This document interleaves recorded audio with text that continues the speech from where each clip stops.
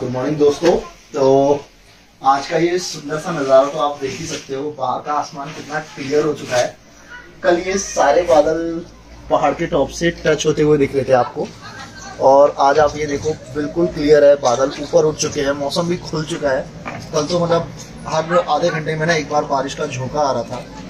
तो आज हमारे ट्रिप का अगला दिन है और यहाँ पैकिंग वगैरह हम ऑलरेडी सारी कर चुके हैं, सारे बैग्स वगैरह।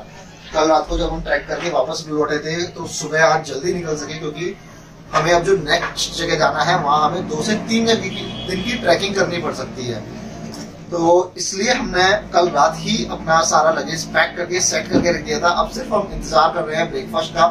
आज के लिए हमने ब्रेकफास्ट के लिए रिक्वेस्ट किया है कि वो चाय के साथ आलू प्याज वाले पराठे बना दें। क्योंकि हमारे जो दो मित्र हैं, उनको थोड़ा सा रोटी या पराठे खाने में ज़्यादा इंटरेस्ट है।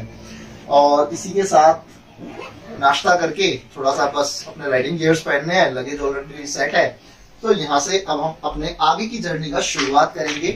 तो स्टे ट्यून आगे की जर्नी देखते रहिए और और सुंदर नज़ारे आपको देखने को मिलने वाले हैं। और साथ ही एक बहुत खास बात बताता हूँ जो हमने इस टाउन में नोटिस की है। इस टाउन में अगर कोई स्टेशनरी शॉप है या कोई डेयरी शॉप है अगर उनके यहाँ कोई रेफ्रिजरेटर रखा हुआ है आपको उसके अंदर बियर वोड का ज़रूर मिल जाएगा। मीन्स यहाँ जो ड्रिंक करने वाले हैं ना ड्रिंक जो ड्रिंक करने वाले हैं, उनके लिए तो ये जन्नत है। उनको ढूंढना नहीं पड़ रहा है। हमारे जो दो भाई है, उन लोगों को तो यहाँ किसी भी दुकान पर जाते हैं और उन्हें सामान मिल जाता है। वेज वालों को थोड़ी सी दिक्कत हो सकती है, क्योंकि यहाँ वेजिटेशन थोड़ा सा कम है।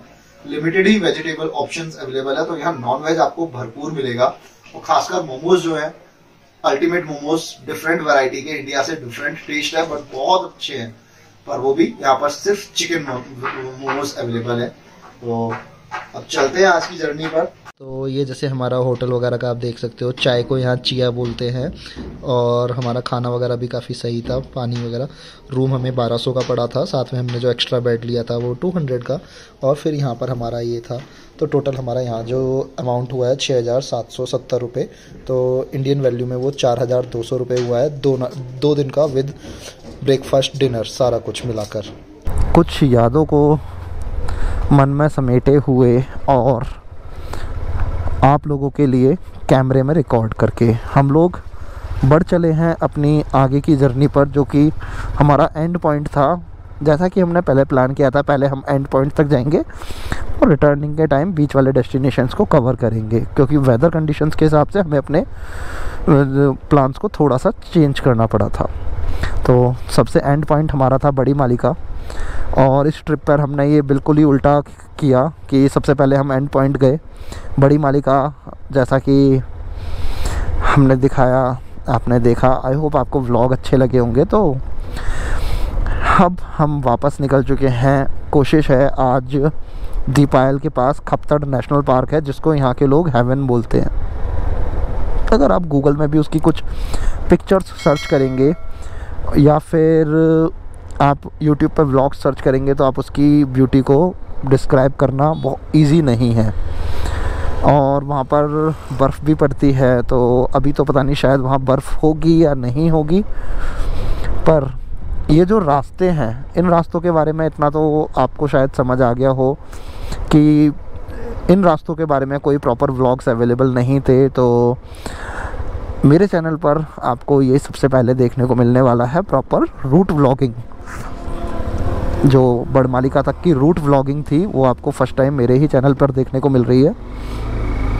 आई होप ये आपको इन फ्यूचर काफ़ी हेल्प करेंगे ये वाले व्लॉग्स कभी अगर आप इस जगह आना प्लान करते हैं और मैं तो यही रिकमेंड करूँगा कि आप मनाली या किसी और जगह जाने के बजाय सेम बजट में आप यहाँ आ सकते हैं। और सबसे अच्छी चीज़ जैसा कि मैंने आज बताया, आज का जो हमारा, यहाँ का जो होटल का स्टे था, वो इंडियन करेंसी में हुआ नियरली चवालीस सौ रुपये अप्रॉक्स आप मान सकते हैं बाईस सौ रुपये पर डे का हमारा चार लोगों का और बाईस सौ रुपये पर डे में हमारा खाना रात का डिनर और सुबह का ब्रेकफास्ट, ये सब इंक्लूड था।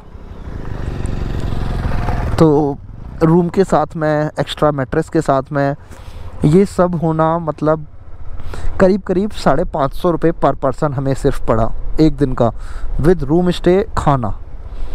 तो अब आप समझ ही सकते हैं कितना अच्छा और सस्ता है ये जगह। हमने ट्रैकिंग भी करके आए। ट्रैकिंग वाली जगह वो अलग ही मज़ा था। और अब ये ऑफ़ रोडिंग का मज़ा भी है। तो चलते हैं, आगे बढ़ते चलते हैं और आगे की खूबसूरती भी आपको ज़रूर दिखाएँगे। और व्लॉग ऐसे ही देखते रहिए, अच्छे लगेंगे और हाँ फाइनली इंडिया की तो पहली थी, अब ये नेपाल में आने वाली पहली C B two hundred X बन गई है ऑफिशियल लॉन्च से पहले। तो ये आ गई है वाटर क्रॉसिंग और ये अभी तक की हमारी सबसे बड़ी वाटर क्रॉसिंग है। आने के टाइम पर आपने इसका 360 व्यू तो देखा होगा। जाने के टाइम मैं अच्छे से व्यू दिखा देता हूँ। और आज क्या होता है ना पहाड़ों में? पानी सुबह थोड़ा ज़्यादा आता है। तो अभी आप देखिए।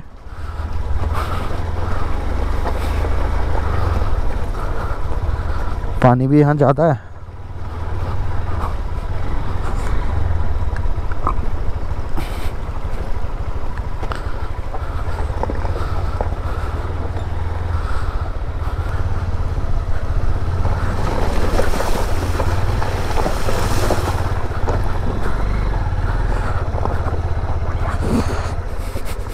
मैं देख रहा हूँ। क्या हो गया? स्टार्ट ही ना और ये पता नहीं सुबह से दिक्कत कर रही है स्टार्ट होने में।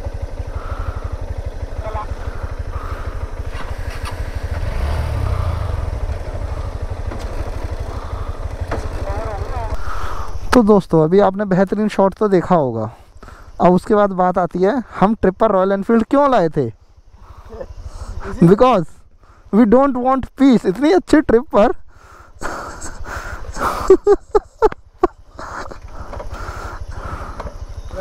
थे ना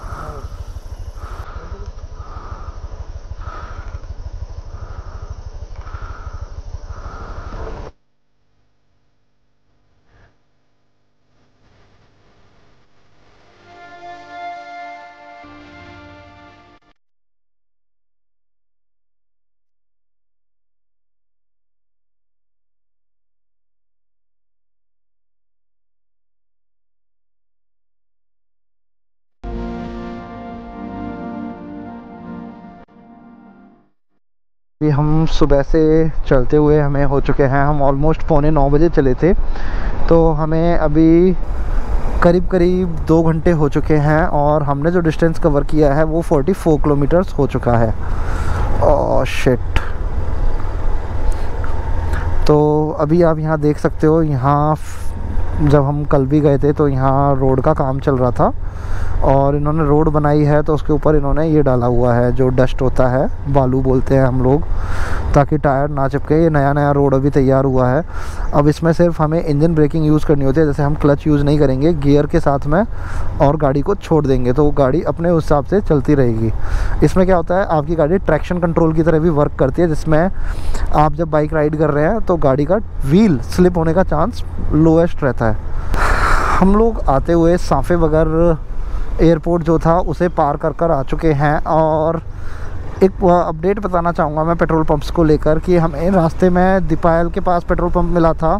उससे पहले भी एक जगह हमें पेट्रोल मिला था और यहाँ सिलगढ़ी के पास भी पेट्रोल पंप आपको मिल जाता है। फिर साफ़े बगर में एक प्रॉपर पेट्रोल पंप है और जो बाजूरा डिस्ट्रिक्ट था मारतड़ी, जहाँ हम रुके हुए थे, वहाँ पर हमें जिस होटल में रुके थे, उसके सामने वाली शॉप पर ही बॉटल्स में पेट्रोल मिला था और वो हमें पड़ा था दो सौ लीटर।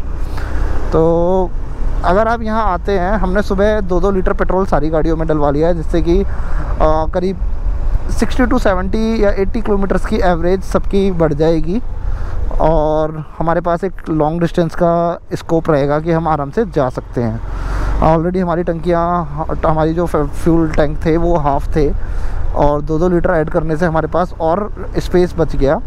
सो so दैट हमें कहीं पर अगर एक्स्ट्रा कुछ चलाना पड़े तो हमारे पास एक बैकअप अच्छा खासा बैकअप रहेगा 50-60 किलोमीटर्स का।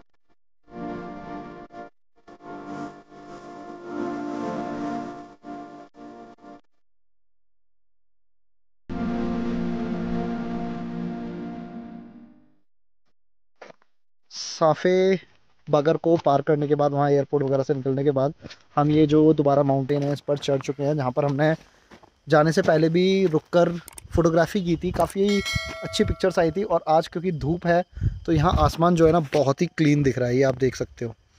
आसमान कितना क्लीन दिख रहा है। और हम लोग रुके हैं यहाँ पर, ये देखो थोड़ा सा फील के लिए रिलैक्स करने के लिए, सुबह से हम तीन घंटे से राइड कर रहे हैं। Nearly sixty seven sixty eight kilometre travel कर चुके हैं। ऑलमोस्ट आज का हाफ़ डिस्टेंस हम कर चुके हैं, जो आज हमने एम रखा है अपना, उससे हाफ़ से तो ज़्यादा ही कर चुके हैं। और अब थोड़ी देर यहाँ इन्जॉय करके, उसके बाद आगे आज फिर चलते हैं।